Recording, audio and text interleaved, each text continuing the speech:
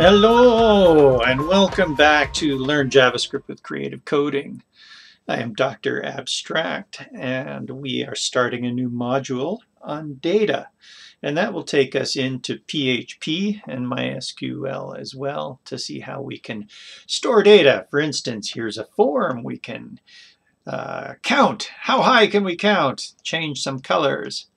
And then we can submit the form here and have it show up in our database. So we'll be looking through all of this stuff as to how to make that happen. But before we get into the form, and we're going to see that both on the canvas and from the HTML DOM because the techniques are the same basically. But before we get into the techniques, uh, let's just talk about data and what that is. So data is the x and y of the circle, the x and y of the rectangle. It is the color of the circle and uh, the size of it, the radius. But if I were to give you that data and say it was like 10, 7, 40, red, we wouldn't really know what that is. It, it, it's, it's the endpoints. It's, it, it is data indeed, but what we're missing is uh, metadata. We need to know what that data is. And so that usually comes in the form of an ID. We would say radius is equal to, and that's sometimes called a property. So there's a radius property, or it's called a variable, var x, variable x is equal to 10. Then we know what the data is. And the combination of that metadata and the data is called information. So information is when we have both what the data is and the data. So sometimes we get those terms uh, mixed up a little bit and what we're trying to do here in the series is clarify those and talk about them. Um, all right, let's drop back to some code and see the information that is needed to form this circle. Do you like that? We want to bring form to this circle. So information informs us. So if we're uh, passing information into a form, get it? a form, wow, how about that? Then that will inform us. It, it gives us form to that data. So I like thinking of information in a very visual way like this. Like how would we form a circle? Uh, however, we often think of information as being just text. I suppose that's true as well. It's sort of an abstract way of, of looking at it, but this is a very concrete way of looking at it. So uh, with that introduction, let's reduce this down here and we'll pop on in to uh, the code that made this. So we're in a Zim template. You can grab that at zimjs.com and then go to the code section and copy the template. Now we've already made a few things. We're not really talking about Zim uh, now. We're talking about data, information, and actually how to get it into the database with uh, PHP, MySQL, and that kind of stuff. So we're not going to really concentrate on what Zim specifically is doing here. Uh, not only that, but we've got two sets. We'll pro provide a zip file of all these.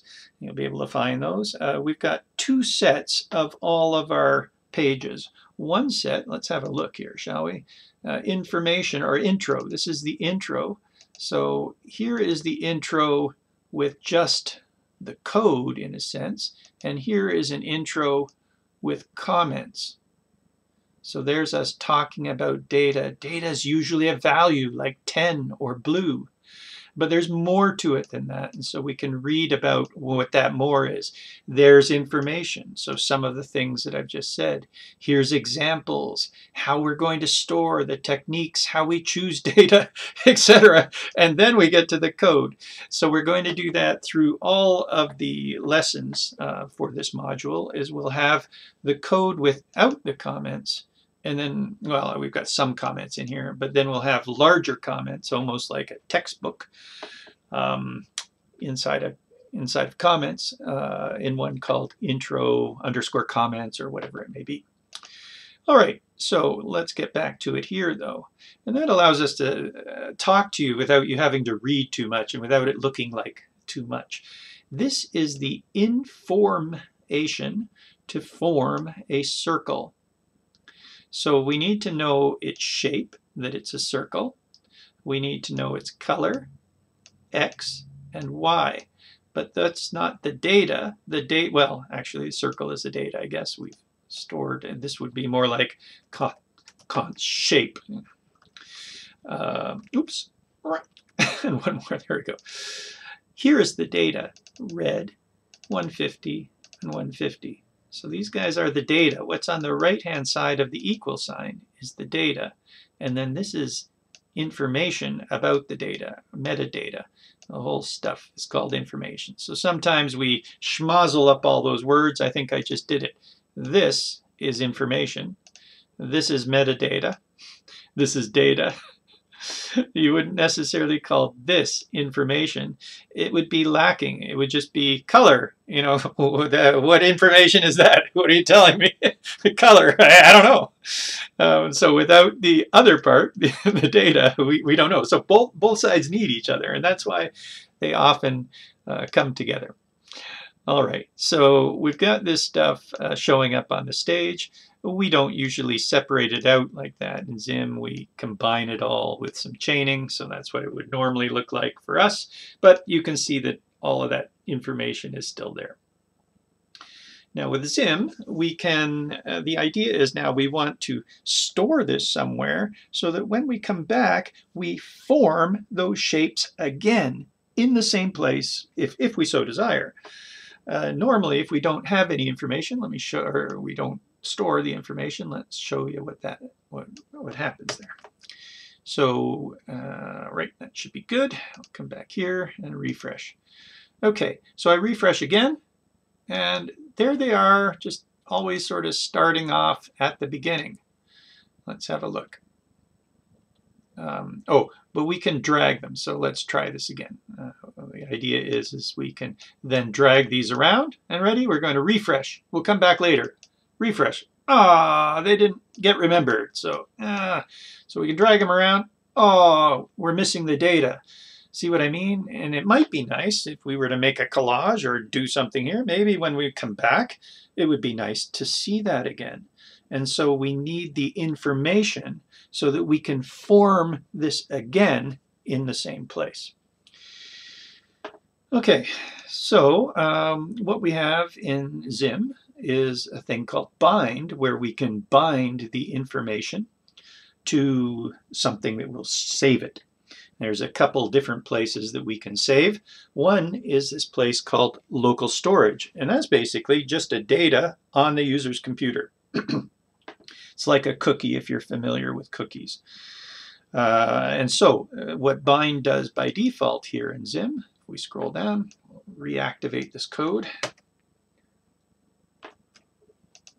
We make a new bind object, and then we tell the bind object that we would like to bind uh, the circle.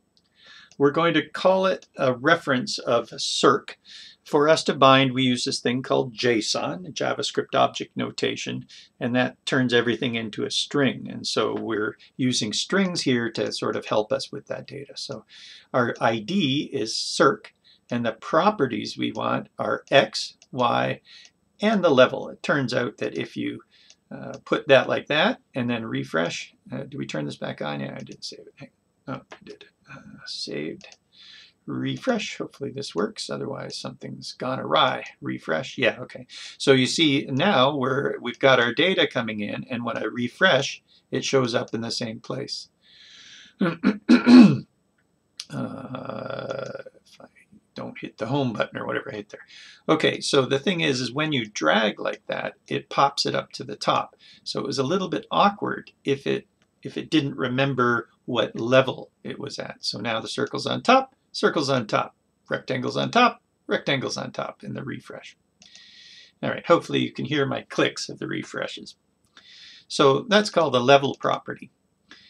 These are the properties that we want to remember, that we want to store on local storage. When we press up on the circle, that means we finish dragging it. So when we pressed up on the circle, we're calling a send function here. And then we request our bind object to send the information to whatever the connection is. And here we have the connection being local storage. So that's kind of neat. Uh, now, how did it get the information from local storage? So when we refreshed, where did it get the information from? When you bind it, it will take the latest information. So bind sort of says, oh, wait a minute, you're asking for circle. I have some information from local storage on that, and it puts it in there. So we don't need to call a from at this point. So there's a to, which sends the data to, and there's a from, which collects the data back. So this is binding. It takes care of a few things for us and works a little bit um, automatically. It's kind of cool. And as you can see, that binding is allowing us to refresh. Shall we do it one more time? Refresh. And hey, those things are in the same place. So um, that's great, but it can only be seen on this computer, as a matter of fact, in this browser. Now, even if we close the browser and open up the browser again, it still shows. That's kind of neat. So it remembers it even through different sessions. So um, that's uh, what local storage does. There's also a session storage, which only remembers for the session. And when you close the browsers, it goes away. And that's just like local storage.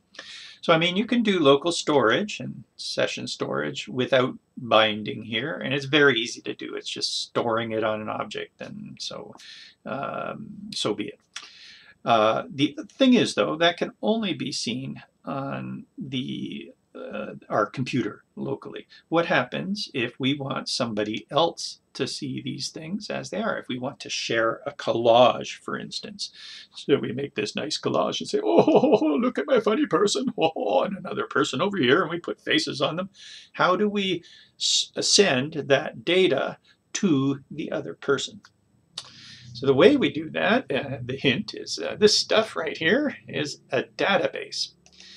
So we have a form, and what I'd like to do is take you through um, some forms uh, in HTML and also in Zim, but uh, we'll probably do that in the next video when we come back. Does that sound good? So this has been oh, Creative Coding! Yeah, so come on back for the next one, zimjs.com. Ciao for now. Hey!